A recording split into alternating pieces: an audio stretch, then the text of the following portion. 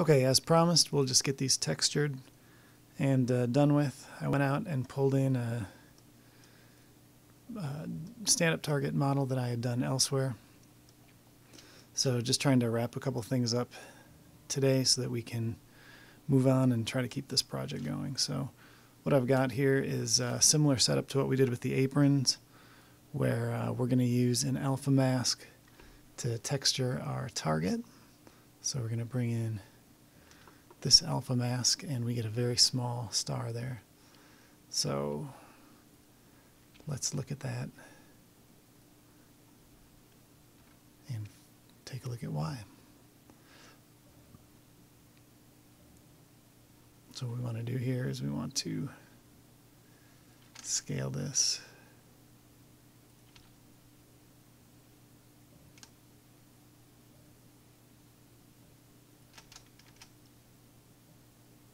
so that the star is in the center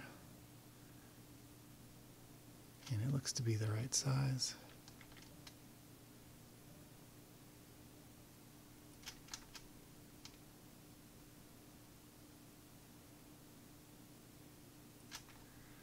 Okay, so there we go. And then, you know, the other part of this then is to, um, we'll say this is hot stamped so that it has some dimension to where the art is. And so then we'll go get a bump mask for this. And you can see it's just really nicely uh, inset a little bit here. And you can change the value of that by changing, changing our multiply amount. So you know, it's tough with games where resolution's limited. you know, you want a little bit of this. Sometimes you have to exaggerate a little bit to get the effect you want. Anyway, our stand-up target. And then we'll grab this.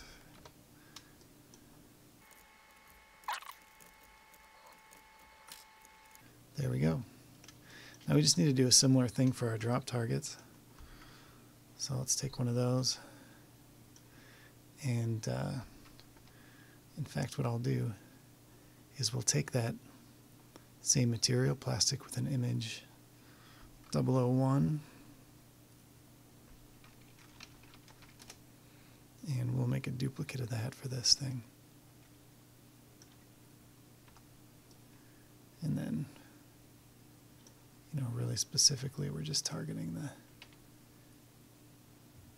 flat face here.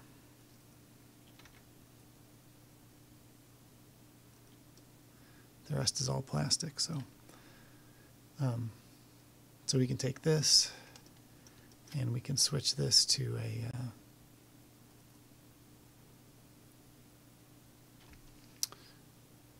drop target. Let's see which one actually is it. Alpha information. Yeah, that's got alpha information, and then the bump map is here.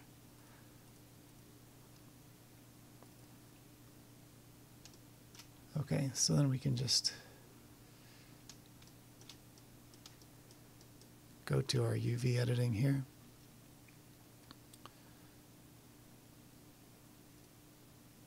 And unwrap this thing.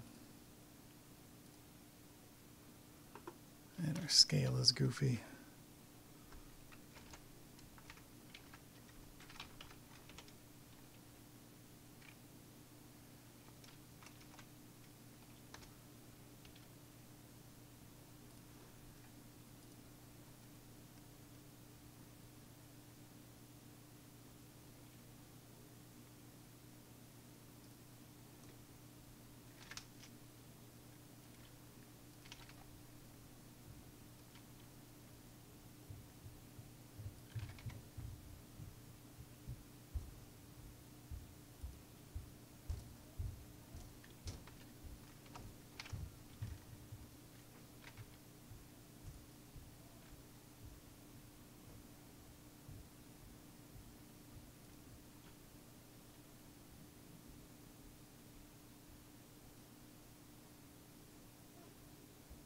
Goes.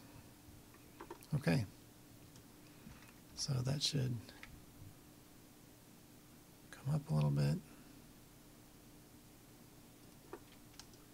Take a look at reference.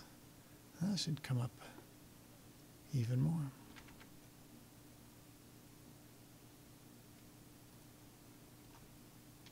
Okay, there we go. So our targets are in place and they're textured. And if we look at a rendered view, I think we can say that looks, you know, pretty good. So, you know, the last things we need to do as far as things that are touching the playfield, um, we're going to do bumpers, and then we'll move up to plastics and lighting.